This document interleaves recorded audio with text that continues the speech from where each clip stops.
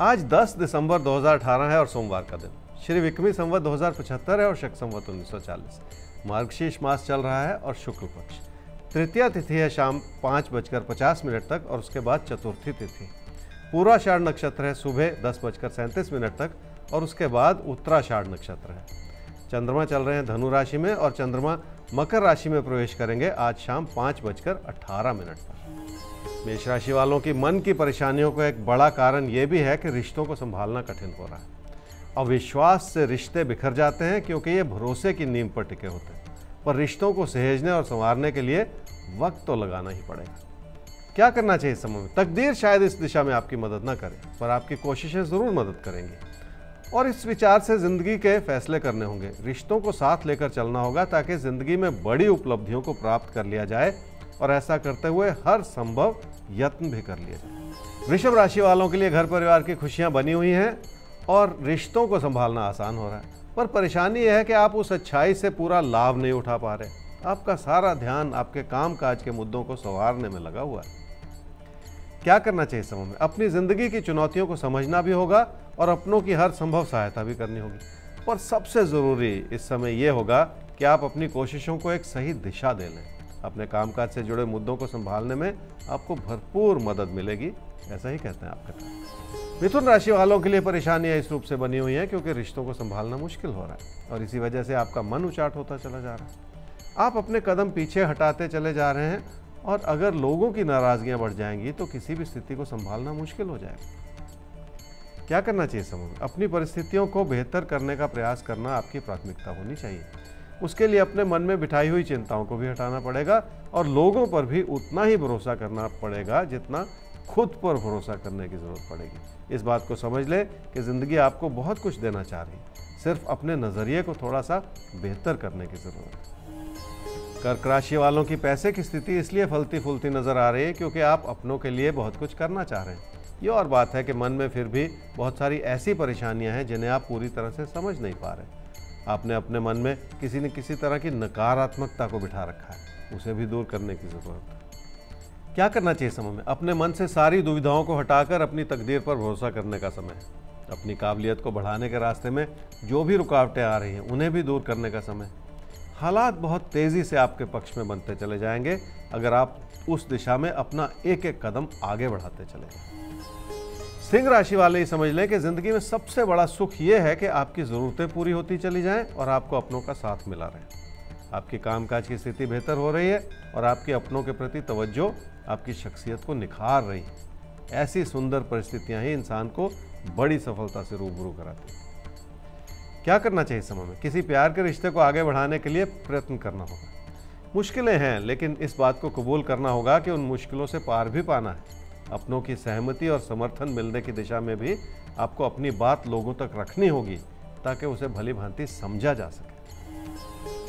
कन्या राशि वालों के मन में कई तरह के परिवर्तन लाने का विचार, चाहे कामकाज को लेकर हो या निजी जीवन को लेकर। पर बड़ी सच्चाई यह है कि आपकी इच्छा ज़रूर है, पर आपकी मेहनत में कमी है, और यही वजह है कि इच्छाएँ परवान नहीं चढ़ रही। जब तक आप अपनी एकाग्रता को बढ़ाएँगे नहीं तो ये कमी चलती चली जाएगी। क्या करना चाहिए समय में? कई तरह के अच्छे विकल्प आपके सामने हो सकते हैं। लेकिन अपनों की सलाह भी लेनी होगी और उनसे कुछ ना कुछ सीखने की कोशिश भी करनी होगी। पर सबसे बड़ी बात यह है कि अपनी लगन को तो बढ़ाना ही होगा, ताकि जो भी आप कर रहे हैं उसमें आपकी अच्छाई झलके और आपको लोग भली भांति समझ पाए। क्या ना करें इस समय में? कोई ऐसी स्थिति ना बनने दें कि आपको लोगों से जूझते चले जाना पड़े। खासकर उन रुकावटों को नज़रअंदाज न करें जो बार बार आपके लिए परेशानी का सबब बन रही हैं। अपने पैसे को कहीं फंसाएँ भी नहीं, क्योंकि ऐसा करने से कई चीज़ों पर इसका असर आ सकता है। तुला राशि वालों के लिए पैसे की स्थिति ठीक है, पर पैसे से जुड़ी सही योजना बनाने की ज़रूरत है। रोज़मर्रा के रूप में अगर कुछ ना कुछ आपके हाथ से फिसलता चला जाएगा तो ये भी अपने आप में ऐसी कमी है जिसे दूर तो करना ही पड़ेगा। अगर खर्चे भी बेकाबू होते चले जाएँ तो बचत भी संभालनी मुश्किल ही हो जाएगी। क्या करना चाहिए समय परिस्थितियाँ जब आपके खिलाफ चल रही हों तो उससे भी बहुत कुछ सीखा जा सकता है। पर ऐसा करने के लिए अपने मन को साफ़ करना पड़ेगा और अपनी कमियों पर काम करना पड़ेगा। संसार में जीते हुए हम सब इस बात को भली भांति जानते हैं कि हमारे अंदर क्या कमी है। उन्हें बहुत शिद्दत से दूर करने की कोशिश करनी होगी।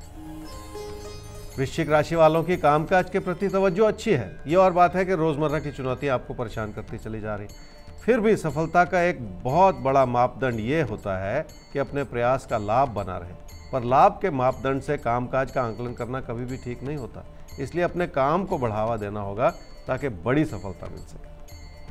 क्या करना चाहिए समूह में? अपनी काबिलियत को बढ़ाने के लिए आपको अपने अंदर जुनून की भावना लानी होगी। और आपकी थोड़ी सी मेहनत से आपकी तकदीर के बड़े द्वार खुल जाएँगे।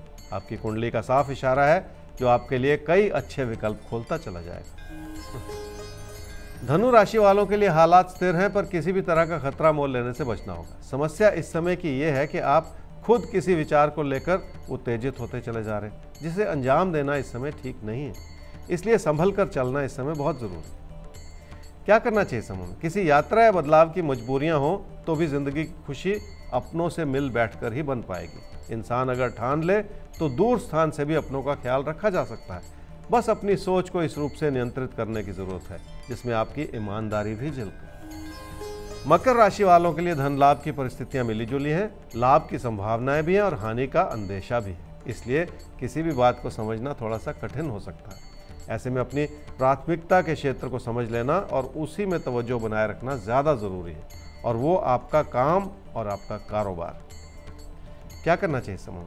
अपनी तकदीर की भूमिका इस रूप से बनी हुई है जिसमें आपकी लगन जुड़ी रहनी चाहिए, क्योंकि काम की स्थिति ठीक है। सिर्फ़ पैसे को संभाले रखने के लिए और ज़्यादा सूझबूझ की ज़रूरत है। पैसा कहाँ से आ रहा है और किस रूप से लग रहा है, ये भी समझना पड़ेगा।